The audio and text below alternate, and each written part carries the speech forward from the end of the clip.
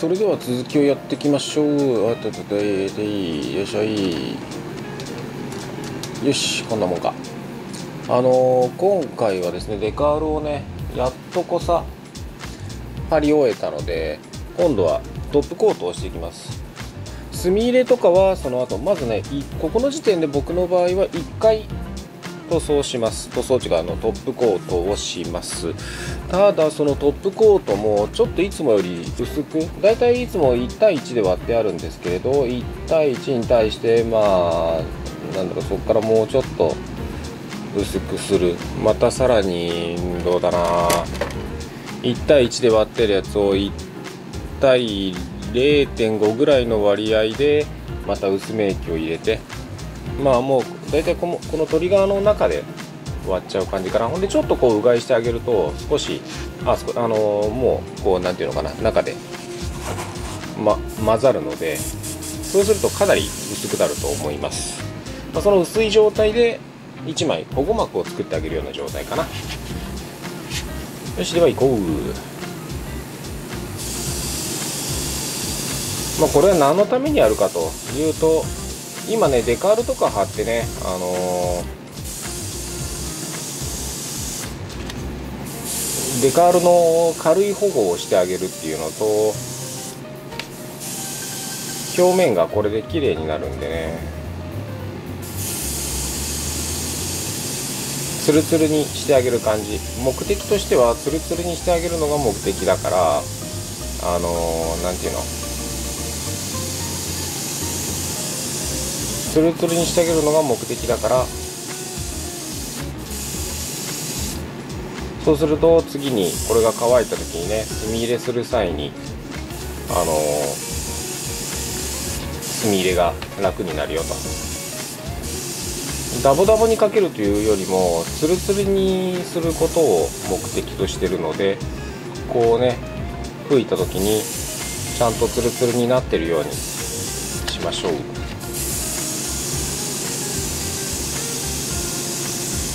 だから薄めにする。でツヤが出るように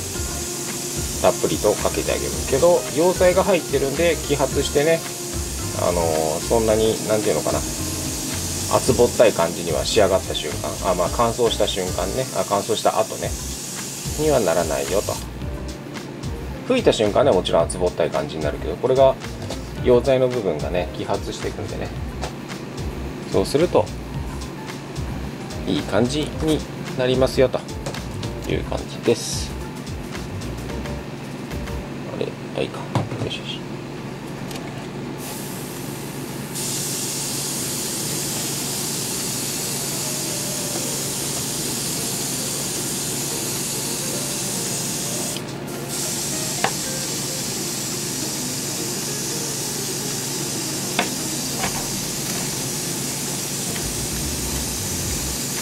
ちなみにデカールはね貼ってからねふう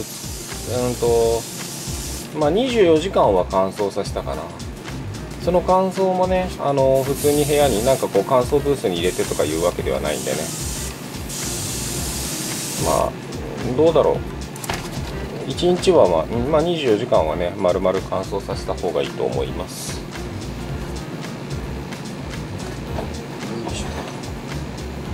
もう置き場がない。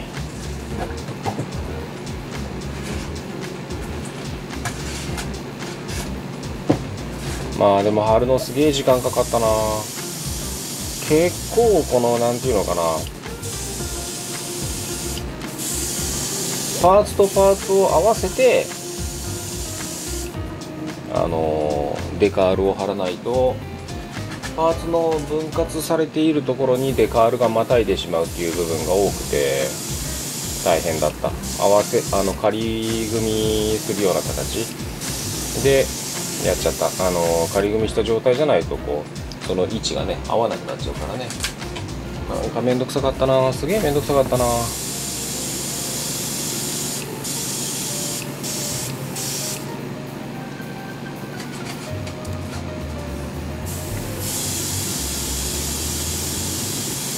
割とだからこのキットの場合だとあれですね。あのなんだろう。まあ上級者向けな感じです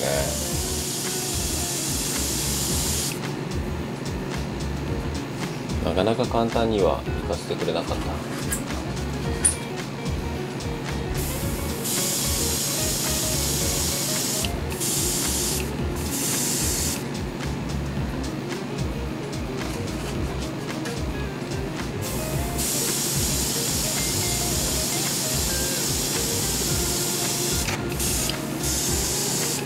まあ時間的にはどうだ。まあ本当に丸一日やってれば一日でできるんだろうけど。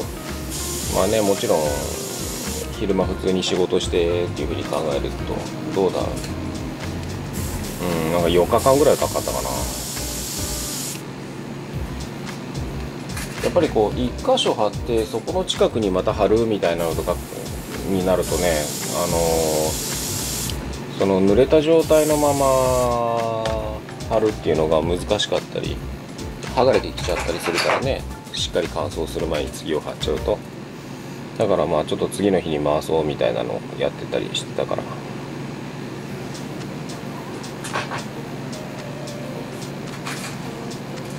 結構時間かかっちゃったな。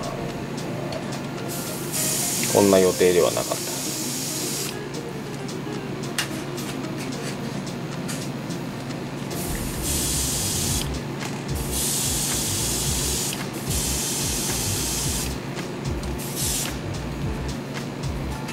よいしょ。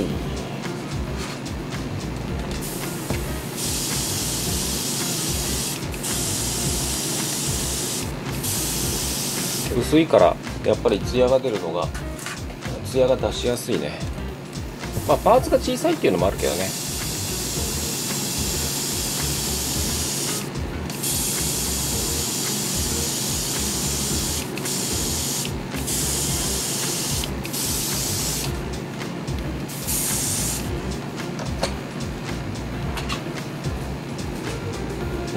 中にホコリがチラチラ乗るな。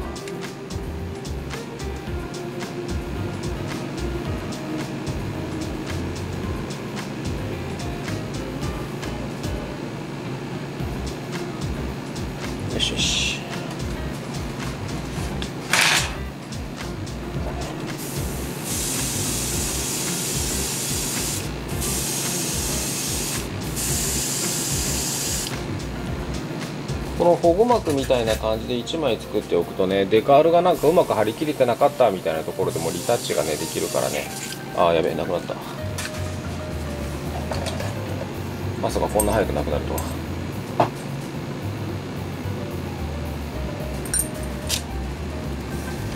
で溶剤をちょっと入れてやると。まあ本当にちょっとだけどね。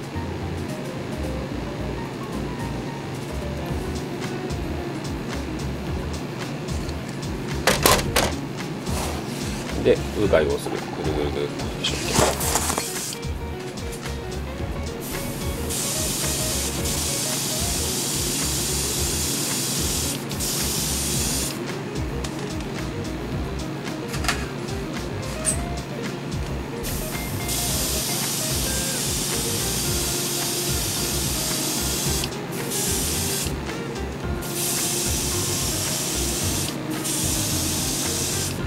よし。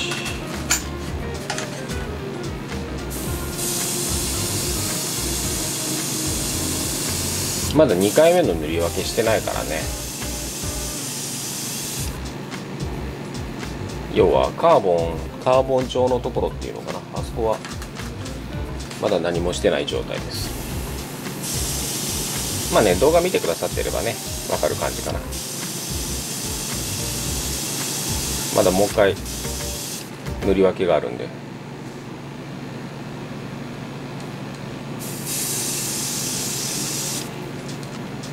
よいしょ。い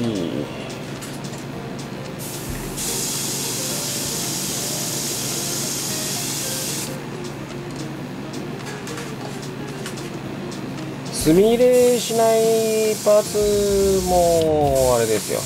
一応ねトップコートをしておく。まあ厚そのトップコートの厚みをね均等にしてあげるっていう感じでかな。まあそこまで深い意味はないけどまあやらなくてもいいような気もするけどまあ一応やっとくかっていう感じでございます。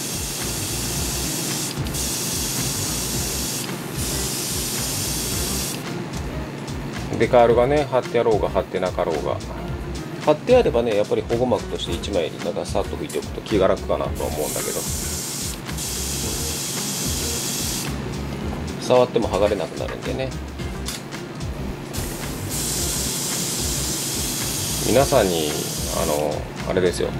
お伝えしておこうかと。あのクレオスのマークセッターで貼っていくと結構白くなっちゃうんですよ。のりでね。だけどねトップコートすると消える。大体消える。大体ね。ちなみに僕はあのクレオスのマークセッターではまあよっぽど拭き取るとかねそういったことしない。のりの跡がそのままの状態。でトップコートするとあのしっかり消えちゃう。しっかりっていうか、まあ、ほとんど消えちゃう。今のところそれが気になるっていうことはないね。ちなみにこれがタミヤのあの糊だったりすると残ったりする。だからそれを考えるとねクレオスのあのマークセッターのってすごいよ。よしということでこれでねしっかり乾かしてあげましょう。今日はちなみにねあの朝なんですけどあのこれでまた夕方にプラも再開した時にちょっと今日は昼間お出かけがあるので朝やっておけばね帰って夕方帰ってきてそれからでもできるかなっていうところでね。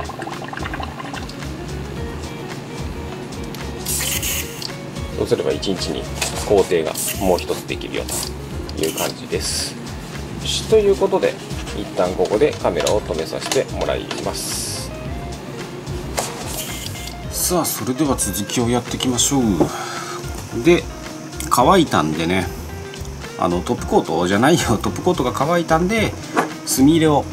していこうと思います。まあトップコートといってもねそのまあ多分今画面がガラッと変わっただけなんだろうけど。あれなんですよ。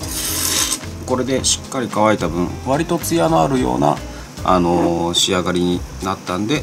墨入れがしやすくなるよという感じです。こうねツツツとこう入ってきやすいと。ツツツと。やっぱりこれがねしっかり最初の時にあの、筋彫りを入れておくと入れやすくなるよと。最初に入れておいてなおかつあと艶が出るようにトップコートをしてあげれば筋彫りに。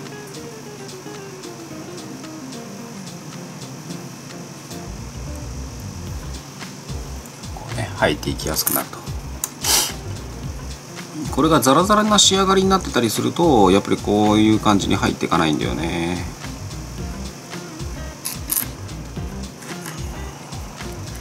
まずはこういった感じで適当な感じでこう入れておくよと。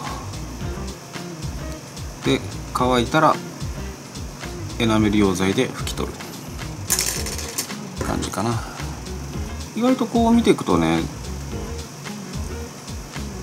あれ。入れるところが少なくて。パーツ的にはこれで今全部なんだよね。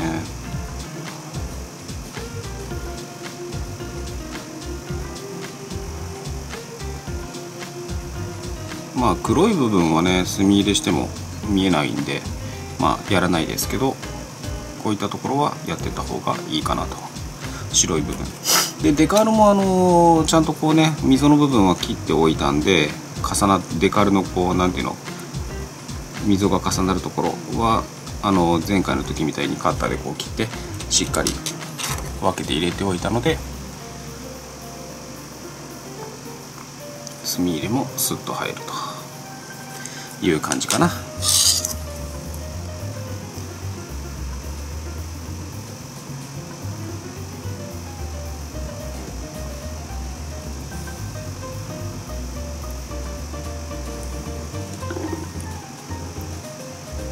よし。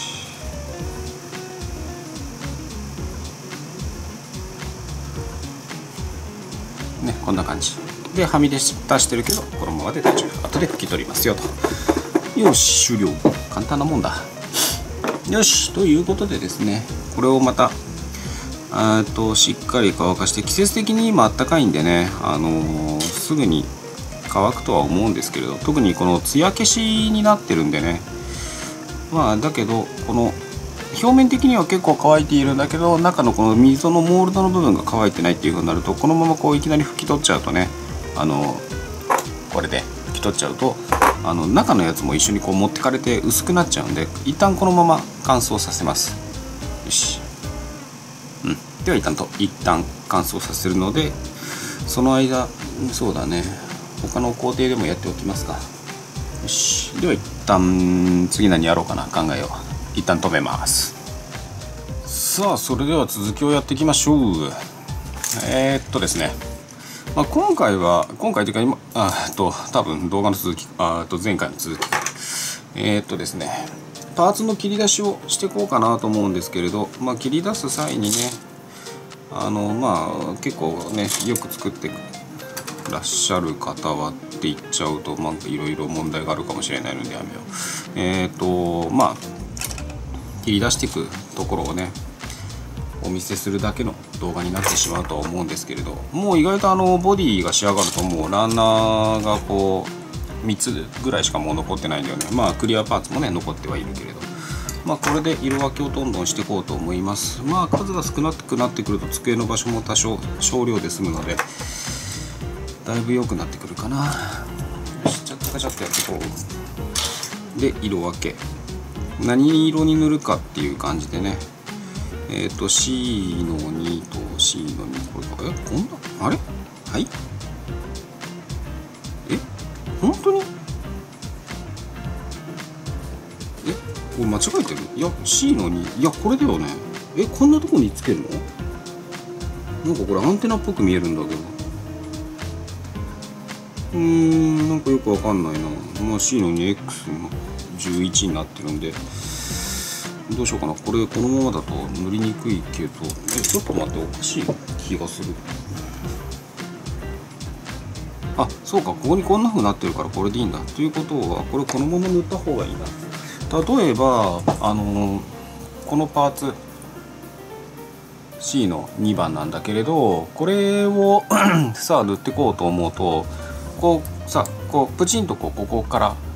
ここからね切っちゃうとまあいいや。うんとやっちゃうとここをこうクリップとかでねワニ口クリップとかでここをこう掴んでやらないといけなくなるよと。そうするとここって表面に出る面なんだよねここのパーツが先端が。っていう風になるとよろしくないと。いう風になると塗装がしにくくなるのでここから切っちゃう。ここからね。まあこ理想としてはこうやって切れるのが一番いい。そうすると2番のパーツっていうのが分かるから特に小さいパーツだとね。そうすると後でこのワニ口クリップとかでここをねこうやって掴んであげるとあの塗装こっち側をね X の11白で塗ることができますよという感じです。この裏じゃあ塗らなくていいのっていうふうになるけれどこの裏っていうのはあの見えなくなっちゃうところだから別にね塗る必要はないよと。だけどこっち側の細い方はあの外から見えるところになるんでここだけはとりあえずは綺麗に塗らないといけないよという感じになるからこうやって持つ。ところを確保して切り離してあげると便利。まあということでね、まあ、ちょっととりあえず外したんですけれどでその後よいしょ。こちら。まあちなみにこれどまあなんだろう。これあれなんでおせち料理食べた時にこう小分けになってこういっぱいさ入っててさあのおせちのあの箱の中にね。でこうやって入れておく。で X の11ですよという感じなので、まあ、僕の場合はこうやってねもう目もちょっとカメラ見見えづらい。なんか明るさで。ね X の XF の1とか書いてるんだけど X の11っていう風に書いてこうやってピンと入れておくとあこの入れ物に入ったやつ X の11で塗るんだなっていう風にね分かるんで。で特にやっぱりこう切り出す順番もう何も考えずにダーッと切っちゃうんじゃなくてどういう風に塗るか。まあ今みたいに例えばこっちが表に出るからあの塗装をね気をつけないといけないからこうやって切り出さなきゃっていうのをこう説明書を見ながらやっぱり理解して切っていった方がいいので例えばあのこことここってもう組めるよねみたいなパーツがあるんですよね。えーと、これで言うと,、えーと、このコックピットの中で言うと TS の 29LP の5なんでこれは、えーと、TS の 29LP の方なんだろう。セミグロスブラックかな。あ当たった。うん。セミグロスブラックでこのパーツを塗る。でこのパーツ自体もセミグロスブラックで塗る。っていうふうになるとここの部分っていうのはあの XF の位置ですよと。だけどここは XF の位置で塗りたいっていうふうになるとえー、っと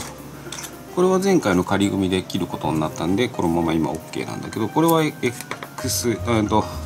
セミグロスブラック。で C の 17C の17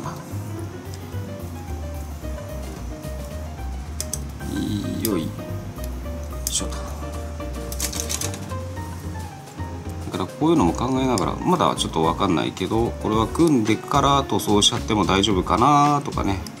あのエンジンエンジンがついてる車とかだったりするともうある程度あのアルミの色シルバーとかをもう組んでから出す。なんか全部塗装してから後から組むっていう風になっちゃうとね面倒くさくなったりするからもうここまでは組んじゃっていいかなとかね。そういうのを考えながら、まあ、このキット以外の場合っていうのはそういうのを考えながらやると多少でもね塗装が少しでも楽になるんでここにこうはめるよと。でここからセミグロスブラックをあの全体的に塗っちゃってだけどここの部分はねフラットブラックかみたいな XF の1かみたいなだけどこうやってもそのマスキングこれくっつけちゃうと面倒くさいよなみたいないうふうになって考えちゃうとじゃあやっぱりバラしてやってここの辺こうマスキングしておいここの辺はね XF で塗った方がいいなって。ここはねマスキングしやすくなるからね。って考えるとこれはまあ組まない方がいいなっていうふうに判断できるわけだ。であのカーモデルっていうのはセミグロスブラックをアホみたいにつくあの使うキットなんでそういう時のためにえっとさっき言ってたこれはおせち入れた時のやつですよと。で今度はこちら。これはねケーキが入ってたやつ。ケーキの入ったやつは入れ物がちょっと大きいんでこうやって入れておいて。でさっき言った XF の1だなというふうになると XF にチョコにトーンと。あじゃない XF じゃない。これはとりあえずはセミグロスブラックを塗ってから XF の1をやるっていうふうに考えるからこのままこれでいっちゃう。とりあえずは XF あとセミグロスブラックを塗装しますよっていうのでこうで後でこう塗装してパーツをこうまたき離していく時にえーと、もう一回こう説明書を見ながらあえこれは塗り分けのパーツがあるなと思うやつはまたこれをね使ってこう分けておく。なんでこれをね説明書を見ながらちゃんと組んでいかないと例えば XF の2っていう塗装を2回しないといけなくなったりするんだよね。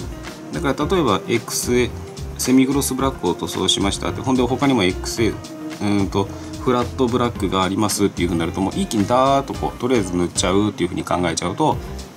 あの2回 XF を使うあフラットフラットなんか言葉がうまくすいませんね。さっきまで寝てたんだ。言い訳。あのえー、っと2回塗らないといけなくなっちゃうんでこれをマスキングをやってからフラットブラックを塗るコーナーっていう感じで分けていくと楽ですよと。まあしょうがない時あるけどね。うん。その逆のパターンもあるんでそれは気をつけないといけないところではあるけれど、まあ、できるだけね可能な限りやっぱりエアブラシを使って塗装っていうのはね回数を減らしてやっぱり塗装塗料にしてもうんと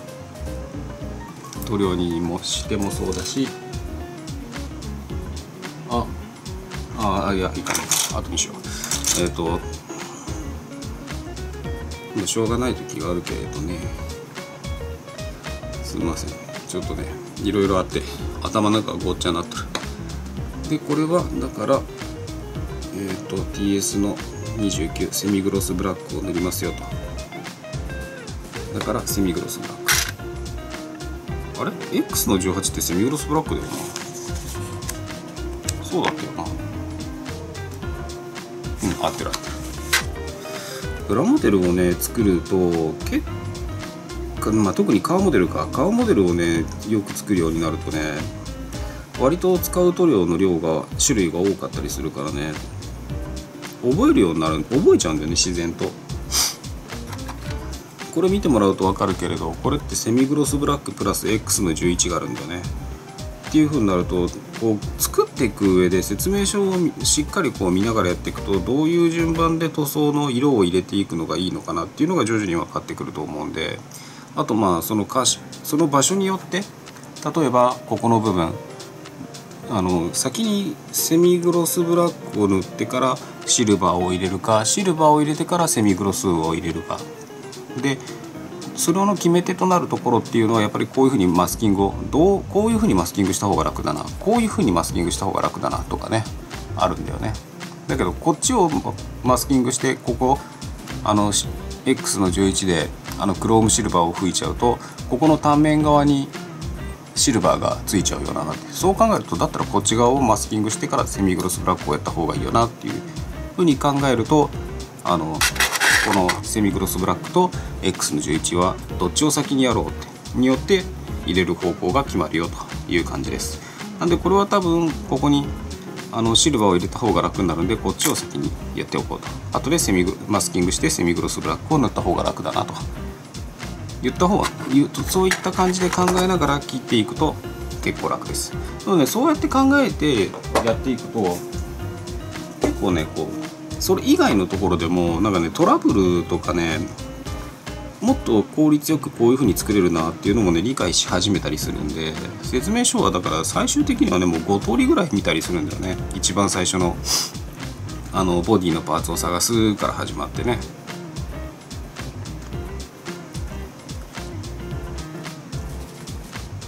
よいしょ。このあのペダルのパーツもそうなんだけどあの別にねここに余白があるにはあるんだけれどここからねこう切らずにこの手前からねゲートのところからこうプチンとこうでランナーから切るランナーから切るっていうようなスタイルにするとまあ持ちやすいよね。ただそれだけのことなんだけど。でこれも結局ここのところは XF の16アルミシルバーかな。でここにセミグロスブラックのパーツあ逆か。ここん？んこう見てたからこことここが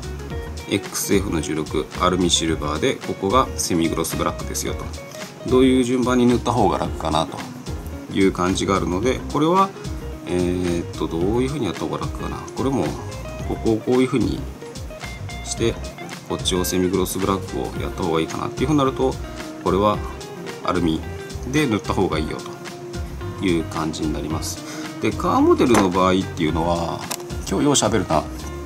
あの何て言うのかな。